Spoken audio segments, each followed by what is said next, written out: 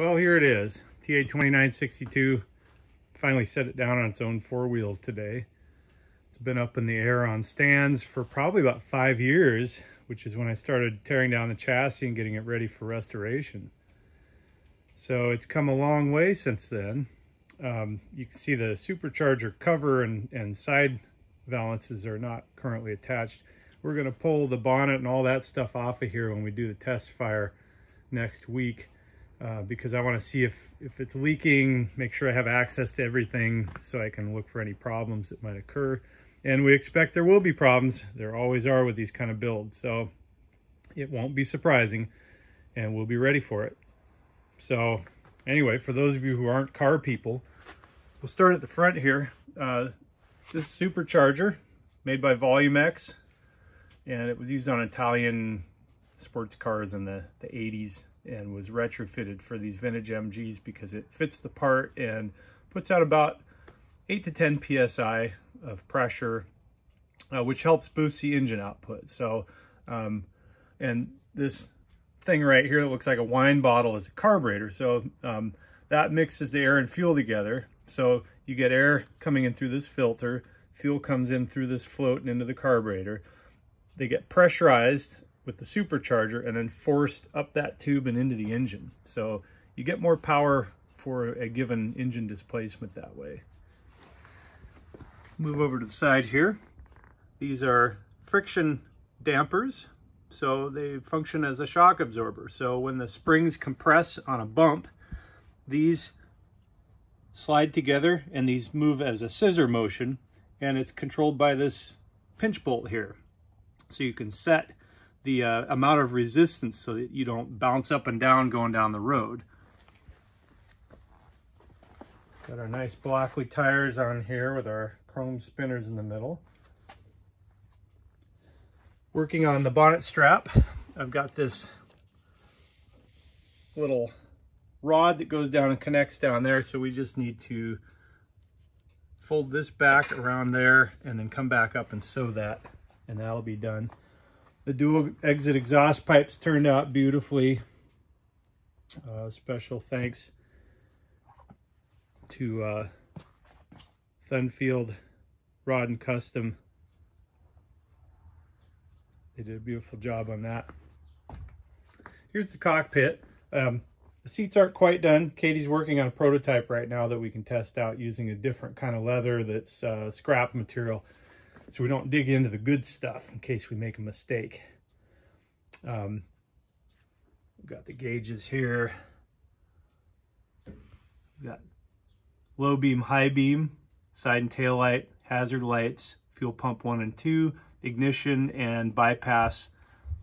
Uh, that bypass is a low oil pressure switch. Um, so for some reason the switch fails and it shuts off the ignition, we can verify that the oil pressure, which is this guy here, um, is high. If it's still high and adequate, then it means that the, the pressure sensor switch failed and you can put it on bypass and get the car off of the road to do the troubleshooting. So some safety features built in. This guy here is a selector that goes along with this fuel pump switch. So if you've got it on fuel pump one, you select the route for fuel pump one right there, and it will draw from that side of the tank. Uh, the other side serves as a reserve, and you can use either or. Um, you can't use both with the way I've got it pumped, and, there's really no reason to because these pumps deliver plenty of fuel for this engine. So we got uh, radiator temperature, oil temperature, supercharger pressure vacuum, oil pressure, tachometer, eight day clock, and a Ki-Gass pump. Ki-Gass uh, helps prime a cold intake manifold with raw fuel. It has little jets that squirt in there. So you can unscrew this and then pump it in and out and it will prime raw fuel which could come from a tank there. It's unlikely I'll ever use it because I have a choke fitted to the carburetor. Oh, there's the turn signal indicator.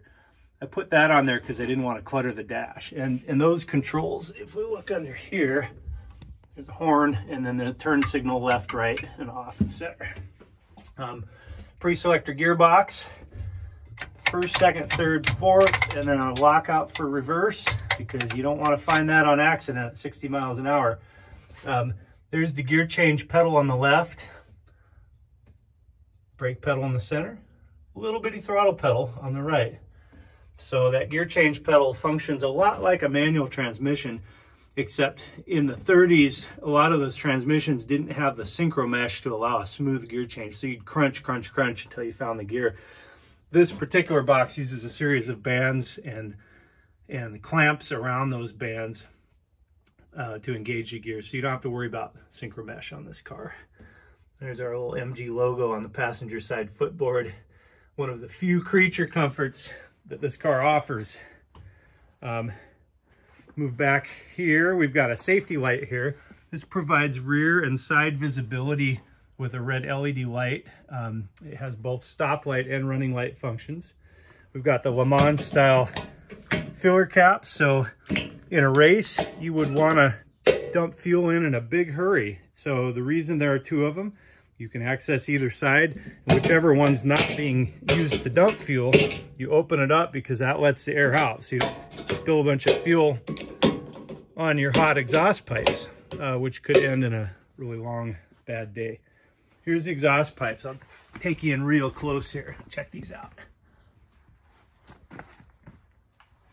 So Marshall Woolery from Funfield Rod and Custom was the one that did the manifold and it just came out beautiful. So special thanks to him for making this possible. It's hard to find craftsmanship like that here in the States. Here we've got uh, turn signal and Lucas ST38 tail lights and some little securing tie down brackets just to keep this thing from going anywhere on the trailer. There's the back view. That's my favorite view of this whole car. It reminds me of an ant or a wasp or something with this tapered abdomen section here.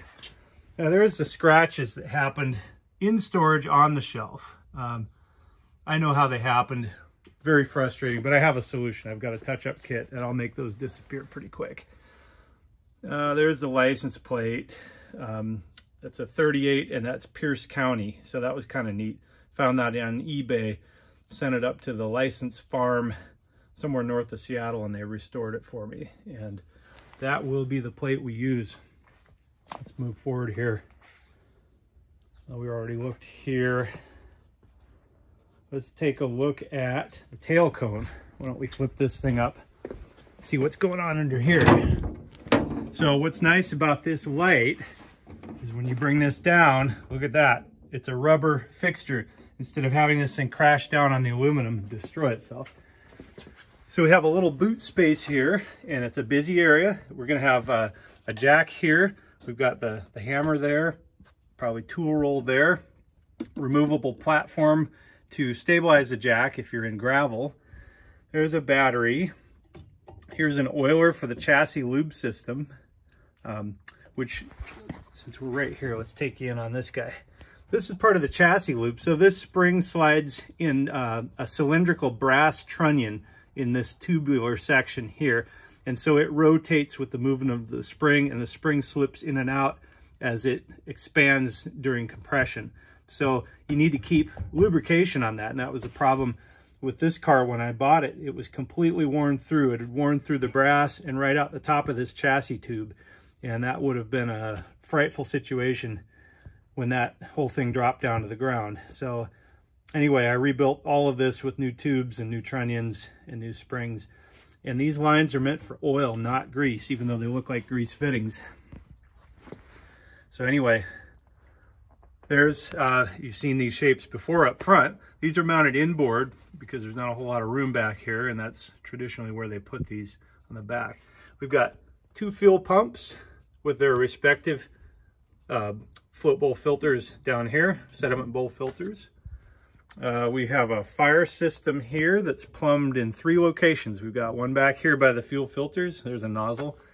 We have one in the cockpit and then one on the supercharger out front. So those are the three areas where we're going to protect the passengers and the two areas where the fuel is concentrated. So um, it may not entirely extinguish uh, 12 gallon tanks worth of fuel, but it will buy us time to get away from this thing if we have a really bad day. So these are the securing nuts for this. So this hinges down, just like that. You can wind these up. In order to check fuel, this particular car doesn't have a sending unit. So we've got this dipstick. And the way this works is you dip the tank and then there will be notches on this stick for each gallon of fuel that I add. And that will be calibrated so I know how much is in there. So it's not a bad system. It seems kind of archaic, but in the grand scheme of things, 12 gallons will get you a long way in this car. And if you run out, you've got three gallons on the other half of the horseshoe tank as reserve. So you can flip over to the other fuel pump and if you drive easy, you could probably get another 60 miles, maybe 70 miles out of it, which is plenty of time to go to a fill-up station. Speaking of filling up, it's highly recommended that you don't use ethanol fuels in these cars. It reacts poorly with the aluminum fuel tanks and just creates a big mushy mess in the fuel system. So all of the racers say don't use ethanol fuel. So there's a place here in Tacoma, I think it's Ball, um, auto mechanics uh, over by Stadium High School that has that fuel. It's a little bit more expensive, but it's well worth it. So we'll give you more updates pretty soon. You can see I have to write notes to myself. Needs coolant. Lots of things to do still, but uh, should go pretty quick. We're hoping to start this bad boy early next week. So stay tuned.